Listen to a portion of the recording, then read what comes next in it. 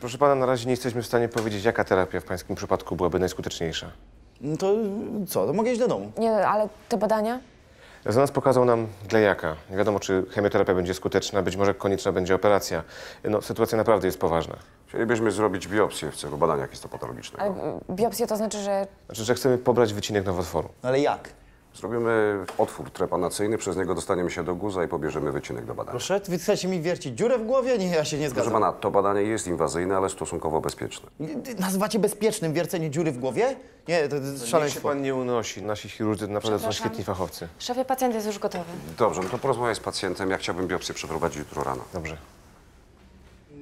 Dobra, ja to przemyślę, ale dzisiaj idę do domu. Ja naprawdę odradzałbym wychodzenie ze szpitala. Frodo, słuchaj, to jest bardzo poważna sprawa i, i ty musisz posłuchać doktora. No ale co, będziecie mnie tu trzymać? Proszę pana, na siłę nikt pana nie będzie trzymał. W każdej chwili może pan wyjść na własne żądanie. Ale biopsja naprawdę zwiększy szanse skutecznego leczenia. No, może pan być wyleczony, tylko musimy działać.